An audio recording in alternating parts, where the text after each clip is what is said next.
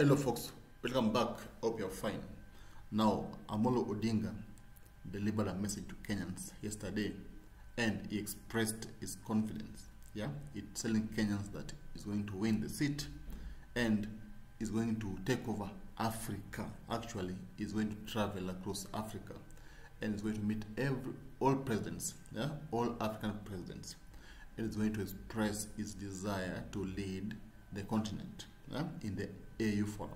Now, of course, Raila was very confident, and uh, you know this shows that he knows what he's doing, and he knows he's going to clinch the seat.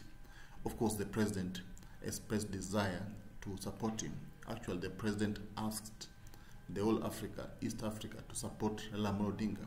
The president also insisted that Raila should win the seat. And of course, this is making Raila supporters happy because they know that now finally Baba will have a powerful place in the continent. Yeah, he will not be he will not be just the opposition leader, but he will be the African Union Commission chairman. Just imagine the biggest seat. Yeah, the biggest seat in Africa. So of course, people like, why is Ruto fighting? You know, why is he fighting Raila to get the seat? That's the question I think Kenyans are asking themselves. But as they always say that in politics, there is no permanent friend or enemy. It's all about the game of, you know, benefits. What am, am I going to benefit from all this? And Ruto stands to benefit by Raila's silence. He knows if Raila goes there, the country will remain to him. And of course, he will have to do whatever he wants.